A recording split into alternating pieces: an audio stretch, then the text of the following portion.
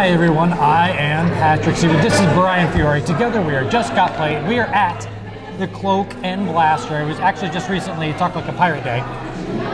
Funnily enough, we just got done playing Dice of Pirates. Join us at the Cloak and Blaster for Dice of Pirates. Arr, Brian. Are you ready for Dice of Pirates, Brian? I am. I am.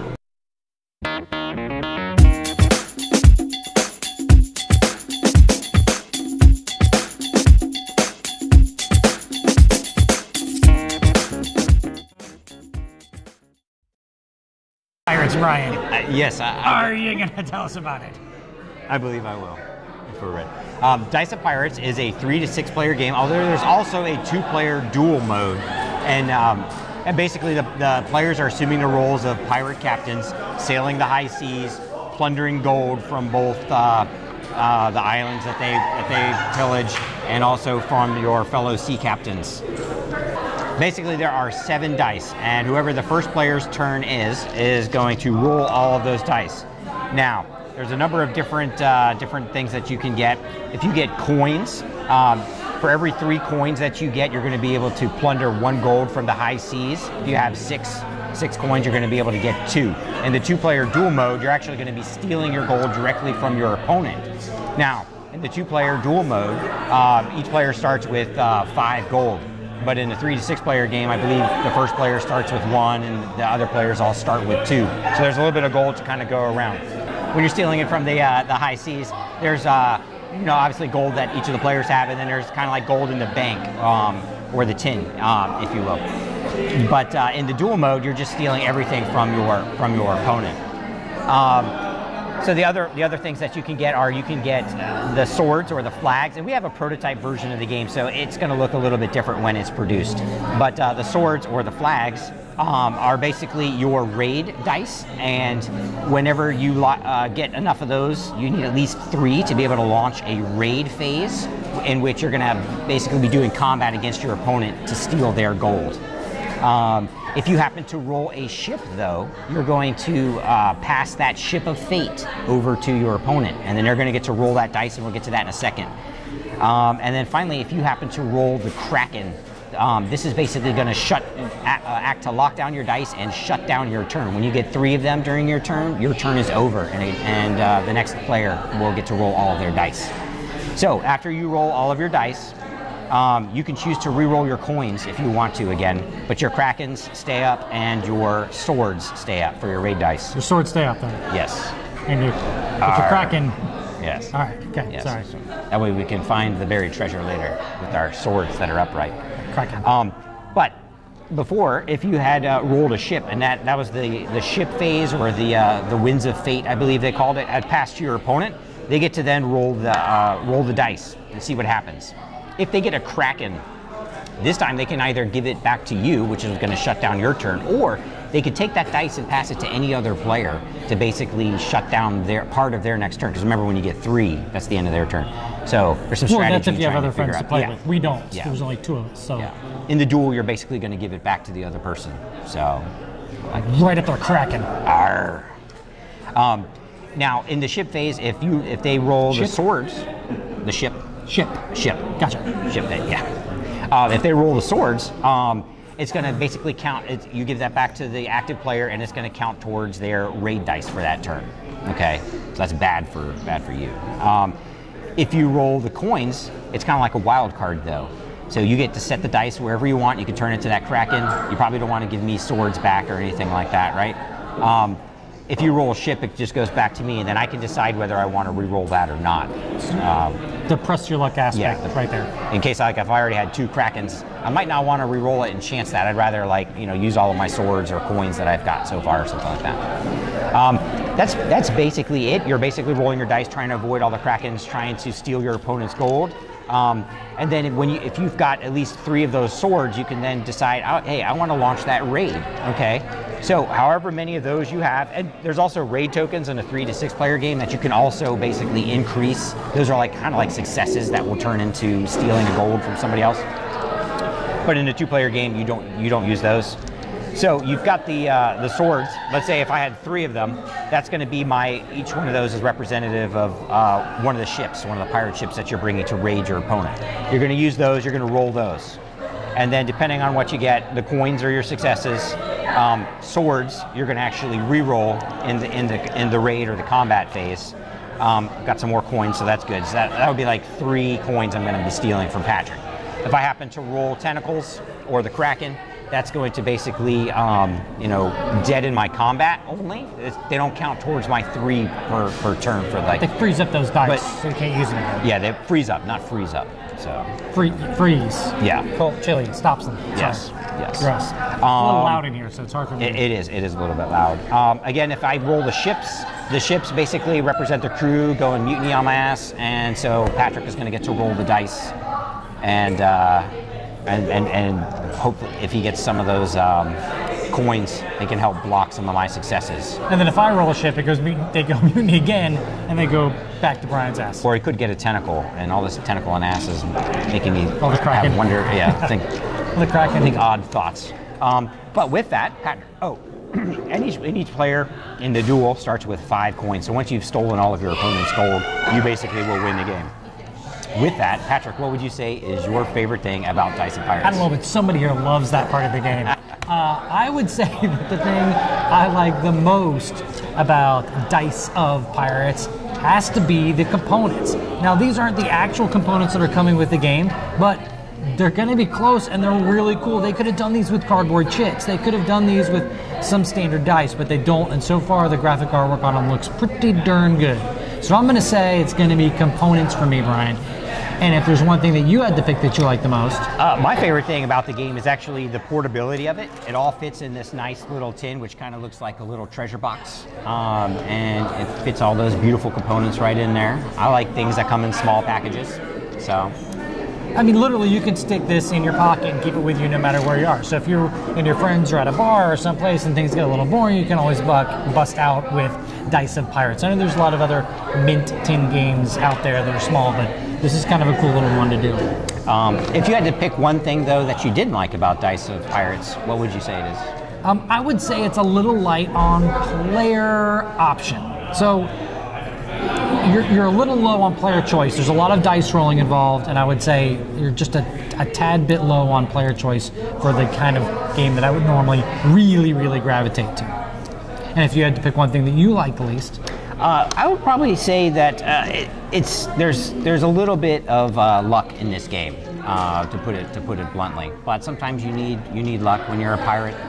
So you certainly would. But you know, for the kind of game that we're talking about, something you can bust out and like you know teach really quickly uh, with a group of friends or at a bar or like just in a place you normally wouldn't play a game or in between other games. Like you're not really really so overly focused on what you're going to do next too. So it moves quick. yep, that's true. Has a quick moving mechanism. It's my turn. It's your turn. It's my turn. It's your turn. So that's kind of neat too. Unlike if you had a peg leg, you know, you probably wouldn't move as would, quick. You would wobble. So- Yeah, you would go from place to place very, very, not very quickly. Yeah. Right now, Dice of Pirates is on Kickstarter, and I hi- highly, highly, highly, I highly encourage you to go down and pick, pick up a copy of Dice of Pirates. Arr, get your booty on Kickstarter. I'm Patrick. That's Brian. This is Just Got Played. Thank you very, very much for watching.